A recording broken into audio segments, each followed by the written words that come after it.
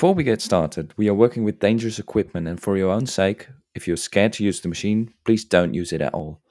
While the machine has got a lot of safety features, there are still possibilities to be in an accident.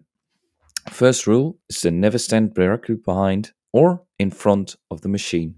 It can send wood with great speed flying towards you. And watch out for your clothes as well.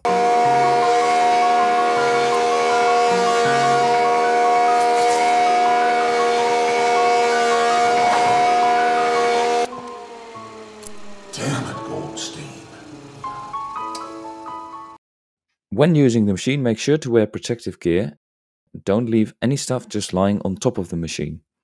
And people, we know work can be tiring, but please don't use the machine as a beer pong table. Lastly, before use, make sure the bed is nice and square and please don't lose your hand. Okay, now on with the video. When using the jointer, guide the wood by hand and glide smoothly over the shroud. The wood is always pushed against the rotation of the blade, even when planing. Use multiple passes to cut down the wood, but you should only take 2 or 3 millimeters off at once. Also, make sure to readjust the shroud because the wood gets thinner with each pass. To increase or decrease the depth of the cut, you can undo the bolt at the front of the machine and lower the front bed. You might want to do this to increase your production speed. When jointing the shorter edge, lower the guide and press it against the side with the guide to hold it. Now guide the wood again by hand, but pay attention to the placement. Always rest your thumbs on the top and press with your index finger. The jointer is used for making the wood square now to machine it to the right thickness, we transform the machine into a planer. You do this by first taking off the rail and guide at the top.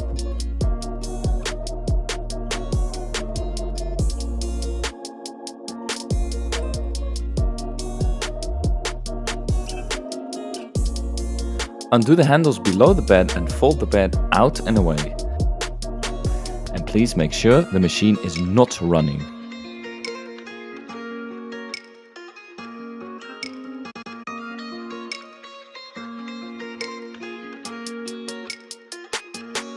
Place the dust shroud above the blades to cover it up and that's it.